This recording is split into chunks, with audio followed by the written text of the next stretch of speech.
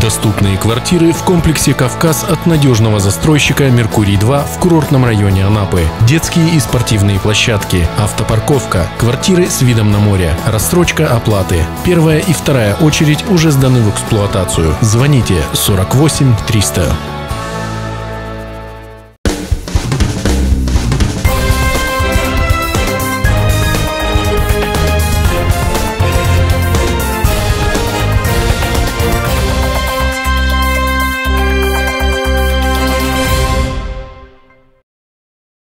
В эфире новости «Анапа регион» в студии Ирина Меркурьева. Здравствуйте. Итак, смотрите сегодня в выпуске. Для нас очень приятный сюрприз. Цвет курортного настроения белый. Заканчиваются работы по обновлению инфраструктуры пляжей.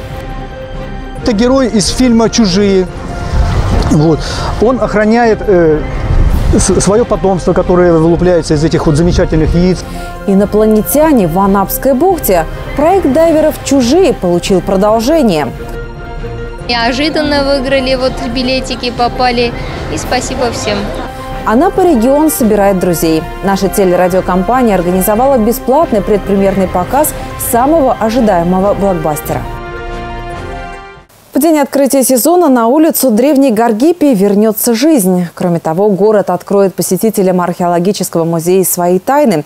Тысячи самых юных гостей, подобно аргонавтам, отправятся за золотым солнцем Анапы. А вечером на празднике выступят артисты из греческого города Ларисы, побратима Анапы. Все это время будут работать интерактивные площадки на самые разные темы. Можно будет приобщиться к греческой кухне. Глава города-курорта Юрий Поляков сегодня провел заседание оргкомитета комитета. Он потребовал со всей ответственностью отнестись к каждой мелочи. Главе города докладывают о том, где и какие рекламные конструкции будут размещены. Новый курортный сезон Анапа встречает под новым брендом, оставаясь при этом главным детским курортом. Утром 10 июня тысячи самых юных гостей, подобно аргонавтам, отправятся за золотым солнцем Анапы. Юрий Поляков поручил обеспечить им максимально комфортные бытовые условия, начиная с питьевой воды. Мелочей на таком мероприятии быть не должно. Все необходимо продумать, начиная от электроснабжения, заканчивая встречей иногородних гостей.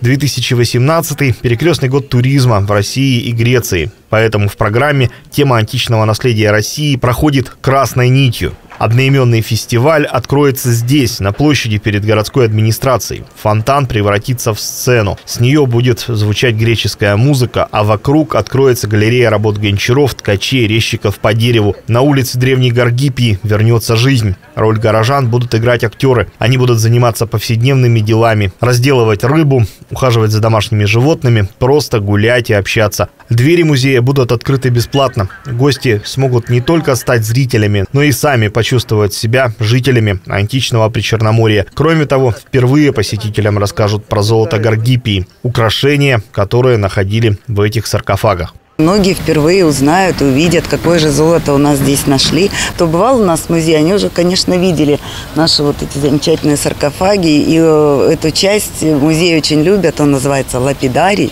то есть музей под открытым небом. Все знают, что там что-то нашли в этих саркофагах интересно, но что именно? Вот как раз посетители смогут увидеть, пусть, конечно, и на картинках, у нас не все представлено в наших экспозициях, потому что часть наших золотых предметов находится э, в московских музеях, музее имени Фелицина в Краснодаре. И сотрудники все это расскажут о тайнах античного города.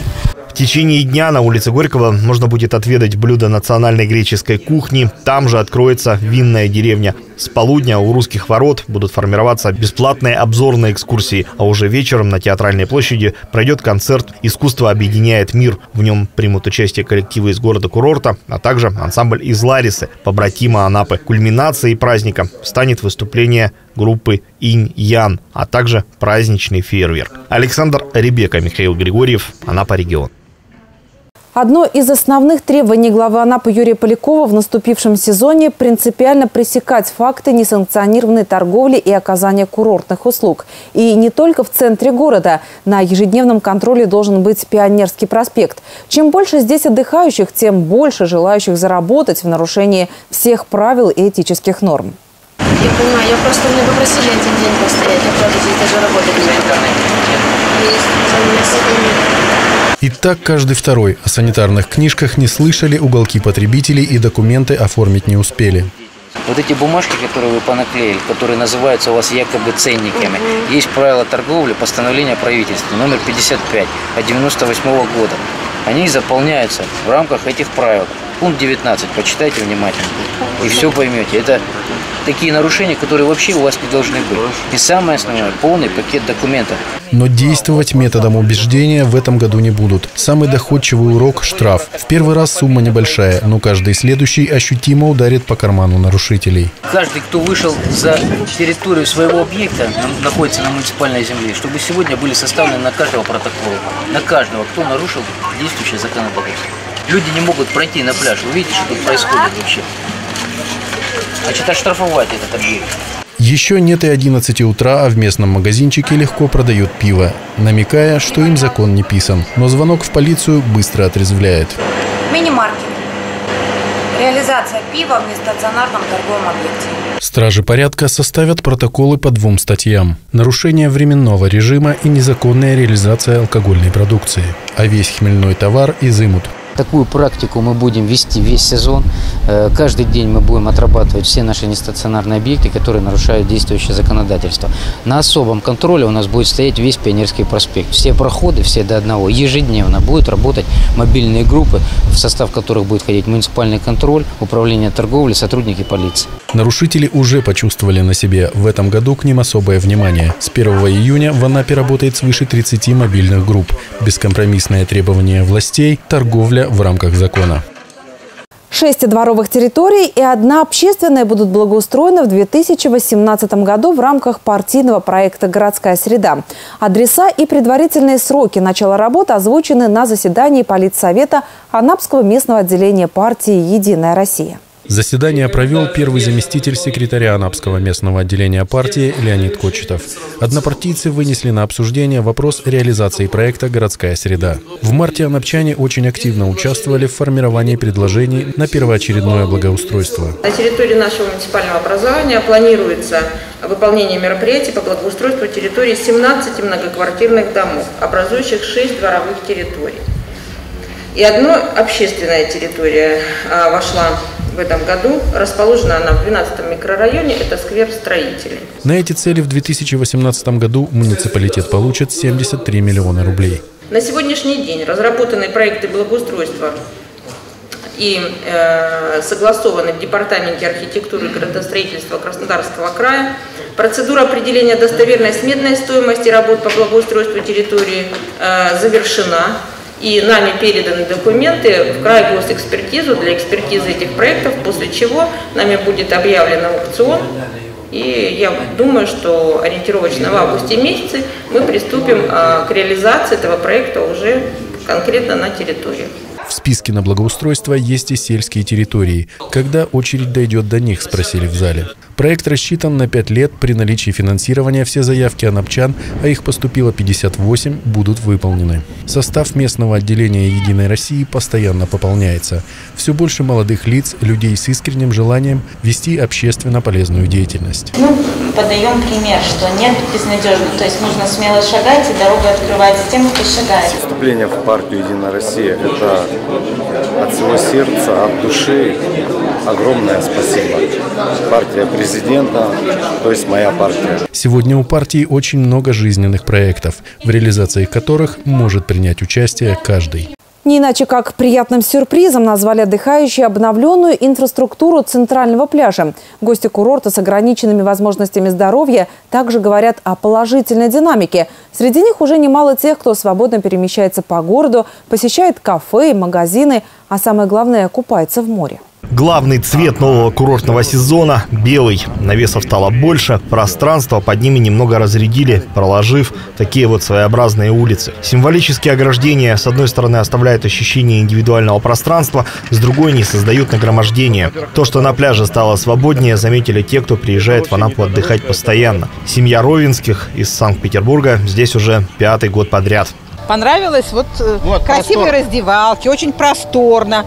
Не видим бассейна, который стоял вот здесь. Вот не видим вот этих аттракционов, на которые никто, кстати, дети не заходят, вот эти аттракционы. Для нас очень приятный сюрприз. Урны нового образца. Ими будут постепенно заменять те, что установлены сегодня. На стендах вариации на тему нового бренда курорта. Торговые павильоны также выдержаны в едином стиле. По сравнению с прошлым годом осталось лишь треть торговых точек. Особое внимание отдыхающим с ограниченными возможностями здоровья. Специальная раздевалка со специальным же диваном и поручнем. Новый настил, доски. Толще расстояние между ними меньше. У самого моря пересадка на специальное кресло. Если нет сопровождающего, помогают матросы-спасатели. Путь к месту купания указывают специальные таблички на набережной. Виталий из Оренбурга на курорте уже примерно полтора месяца. Динамика есть? Да, ну и к морю подойти можно, и все. Месяц назад тут только вот, наверное, вот до отсюда был. Все, дальше там не было уже этих дорожки этой. Анатолий ездит отдыхать самостоятельно на автомобиле. Он живет в белорусском городе Орша, это Витебская область. Был проторенный путь в Крым, куда раньше давали путевку. Еще зимой спланировал поездку в Анапу, оценить, как изменилась инфраструктура. Я уже столько повидал с 91 -го года и в таких условиях жил, что для меня это, это сказка. Что можно везде подъехать, ну, по крайней мере, жить можно самостоятельно. Даже вот одному колясочнику можно прекрасно прожить. Подготовительные работы практически завершены. Кое-где осталось натянуть навесы и наклеить указатели. Впереди рутина. Эту машину выпускают на пляж около 5 часов утра. Она поднимает верхний слой песка и просеивает его от мусора. Эту также для просева песка купили более 10 лет назад, однако по разным причинам она стояла в гараже. Сегодня снова в строю. Парк тракторов обновили. Сейчас их 8. Еще один в пути. Отдыхающие заметили перемены к лучшему, и это настроение теперь важно не упустить. Александр Ребека, Михаил Григорьев. Анапа регион. В Анапской бухте вновь появились инопланетяне. Проект анапских дайверов «Чужие» получил продолжение. В прошлом году они установили на дне Черного моря гигантскую фигуру инопланетянина, которая стала настоящим хитом среди любителей подводного плавания. В этом году таких статуй уже стало две. К ксеноморфу-протарианцу присоединился солдат. Погружение фантастических существ под воду – это целая спецоперация, в которой задействовано несколько водолазных групп и сложная техника. Сначала при помощи крана скульптура погружается в море, затем при помощи понтона и ручной лебедки буксируется к месту установки. Здесь важно учитывать все – волнение на море, боковой ветер и течение. На месте спуска под воду уже работают водолазные группы. Место для установки фигуры уже подготовлено. Осталось только опустить нового жильца на постоянное место жительства. Такой монтаж – это трудоемкая процедура. На остановку одной скульптуры требуется не менее трех часов. Сложность небольшая была в том, что присутствовало течение, причем довольно сильное для Черного моря. Э, глубина была около 4 метров, снесло приблизительно под 45 градусов у нас тропу. А так, в принципе, сложностей больших особо не было. Нужно несколько водолазов, да, как минимум два, для того, чтобы один э, регулировал там установку, второй находился на поверхности, принимал сигналы от первого, и второй, который находится на поверхности, уже подавал сигналы крановщику, то есть на кране, кто работает. На создании этой статуи ксеноморфа у мастера анапчанина Андрея Острякова ушло полгода работы и более трех тысяч деталей. В длину 3 метра, вес почти 3 центнера. Собирали сначала изначально детали, потом э, твор, рождалась творческая мысль в течение нескольких месяцев с, с конструкцией. И по, в результате длительной работы получился вот такой замечательный фантастический герой. Это герой из фильма «Чужие». Вот. Он охраняет э, свое потомство, которое вылупляется из этих вот замечательных яиц.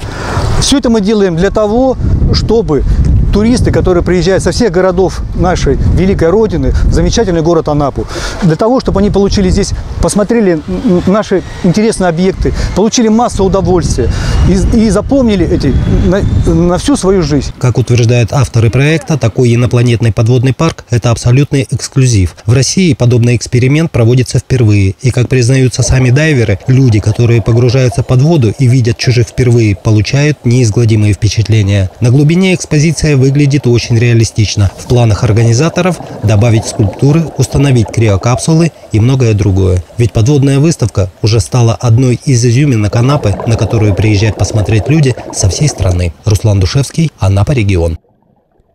Читаем Пушкина. Анапа приняла участие во всекубанской акции, посвященной Пушкинскому дню России.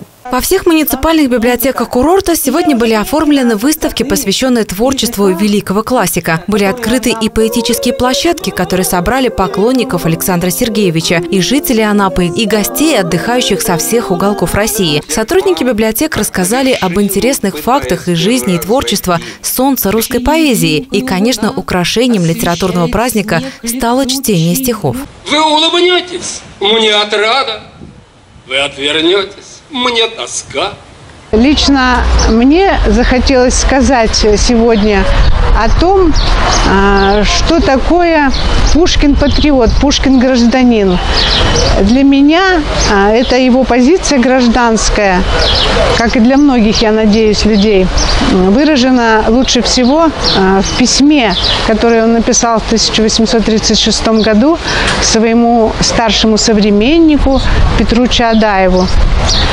Это письмо заканчивается чудесными строками, где он говорит, что ничего он не хотел бы в жизни, как жить в России, родиться в России, гордиться Россией. Это здорово. Фантастический подарок от Европы плюс Анапа. Слушатели и партнеры нашей радиостанции, которые входят в медиахолдинг Анапа Регион, вчера смогли увидеть первыми на два дня раньше всероссийского проката фильм-блокбастер «Мир юрского периода 2». Подобные предпремьерные показы – не редкость. Телерадиокомпания «Анапа Регион» проводит такие встречи регулярно. Акция состоялась при поддержке радио «Европа Плюс», который уже 12 лет является нашим сетевым партнером и удерживает звание радио номер один в России. Современная и ритмичная музыка «Европа Плюс» покорила сердца многих анапчан. Молодежное, заводное, рекомендую. Получить заветный пригласительный смогли слушатели, принявшие участие в розыгрыше в прямом эфире программы «Анап онлайн», а также партнеры нашей телерадиокомпании. Фантастическая фотосессия и зажигательная программа с призами от Европы плюс Анапа – все это также для наших гостей. И, конечно, просмотр фильма, который подарил без привлечения лавину эмоций. Если сравнивать с первой частью, то фильм сменил режиссера и достаточно сильно сменил тональность. Вторая часть парк мира юрского периода тоже стала мрачнее. Много экшена, много динозавров, э, в том числе и динозавров новых модификаций. Я думаю, что все те, кто любит эту франшизу, получат громадное удовольствие. Спасибо организаторам, потому что очень все хорошо было, неожиданно выиграли, вот билетики попали. И спасибо всем. В планах и дальше проводить подобные мероприятия, радовать друзей Европы Плюс в Анапе просмотрами самых кассовых фильмов и, конечно, подарками от телерадиокомпании «Анапа Регион». Здравоохранение, образование, социальная защита и занятость населения, культура и искусство, молодежная политика и защита прав несовершеннолетних. Если у вас есть вопросы, их можно задать завтра заместителю главы Анапы, курирующей эти направления. Прямую телефонную линию с 12 до 13 часов проведет Екатерина Боровская. Звонить можно по номеру 30307. А далее информация о партнерах программы. Производственное предприятие «Меркурий-2» успешно ведет строительство многоквартирного комплекса «Кавказ». Строительная компания приглашает приобрести надежную недвижимость по разумным ценам. И еще один наш партнер, тренажерный клуб «Витязь», предлагает привести в порядок фигуру по специальным сниженным ценам. Не упустите возможность. Все выпуски новостей вы всегда можете найти на нашем сайте anaporegion.ru. Я с вами прощаюсь. До встречи. Доступные квартиры в комплексе «Кавказ» от надежного застройщика «Меркурий-2» в курортном районе Анапы. Детские и спортивные площадки, автопарковка, квартиры с видом на море, рассрочка оплаты. Первая и вторая очередь уже сданы в эксплуатацию. Звоните 48 300. Тренажерный зал «Витязь». Все виды тренажеров. Отдельный кардиозал, женский зал, школа бокса. И, конечно, настоящая спортивная атмосфера. Абонемент на месяц занятий всего полторы тысячи рублей. «Витязь», Анапа, Самбурова, 254. Мы делаем спорт доступным.